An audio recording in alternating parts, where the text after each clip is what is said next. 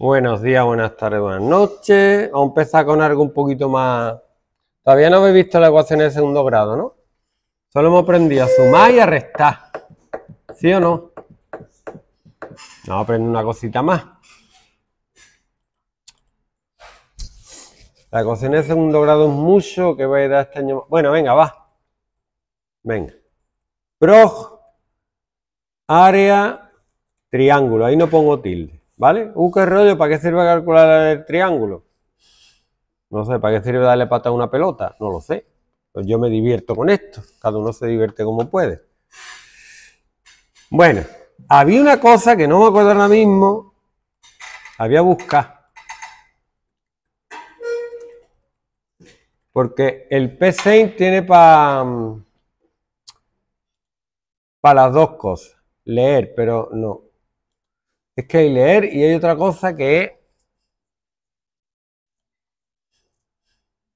Es que escribirle no, había uno que era... Oye, Scratch, qué feo, qué poco me gusta. Bueno... No. Leer. Me gusta poco esto, pero bueno, ya está. Escribir. Escribe la base. La longitud de la base. ¿Vale? Leer base. Escribir. Escribe. Mira, no voy a poner escribir porque es más largo. Longitud de la base. Dos puntos. Longitud de la altura. Tampoco.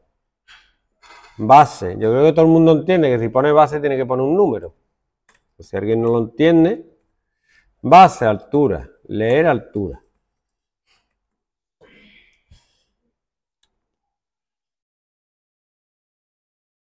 Área igual a, ¿cómo era la fórmula? Por el asterisco.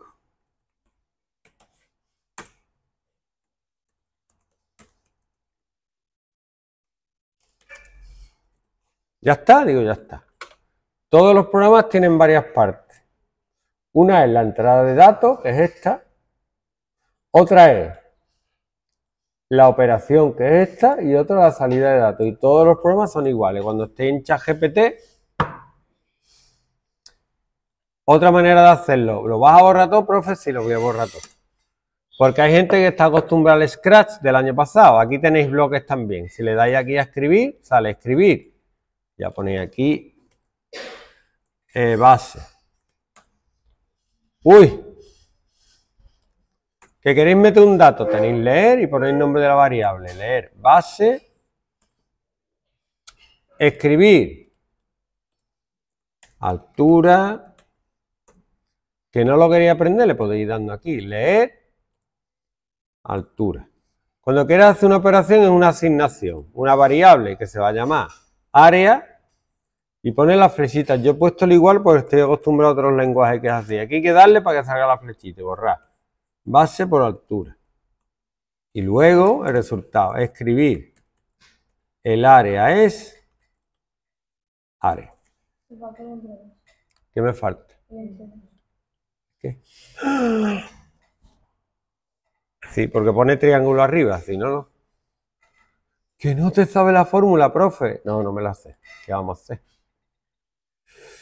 Entonces yo ejecuto el programa y me dice base, o yo qué sé, 5, altura 6, el área es 15. 5 por 6, 30, entre 2, 15.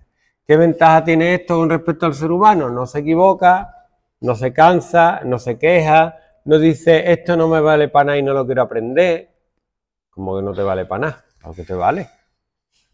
Y a mí me vale para no tener que hacer operaciones nunca más. Una vez que yo tengo hecho esto, yo tengo un programa y si quiero calcular el área de un triángulo, no me tengo que aprender la fórmula, está programado ya. Yo ya no tengo que hacerlo nunca más. Es una forma de guardar la inteligencia. Yo tengo una inteligencia y no me quiero acordar. Pues la guardo ahí y ya está guardada. ChatGPT es lo mismo, pero con muchas más cosas. Guardar. Guardar. Nombre del programa. Pues le voy a poner, estoy en documento. He creado una carpeta que se llama Ana de Armas y José Luis. Si no sabéis quién es Ana de Armas, lo buscáis. Y le voy a llamar, bueno, se llama ya programa área triángulo, perfecto. Yo pongo dos nombres para que pongáis los nombres de los dos.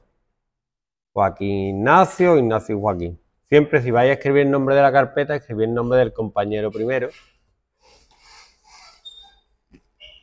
La postura, la postura, arriba, arriba, arriba. La espalda arriba, bien sentado, como las personas. Y vean este botoncito. Este es el diagrama del programa. Uy, qué mal suena. Diagrama del programa.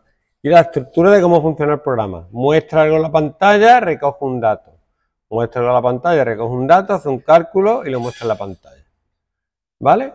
Es una estructura muy simple, pero sirve para ver cómo la estructura del programa. Y luego los programadores nos enseñan primero a pensar lo que vamos a hacer. Antes de dar el boleón para arriba, el balón, venga, tú mira a los compañeros y dirige el balón donde más oportunidades tenga. Pues es lo mismo.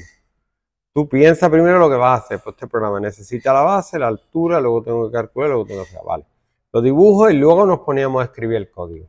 Escribir el código es lo último. ¿Ya está?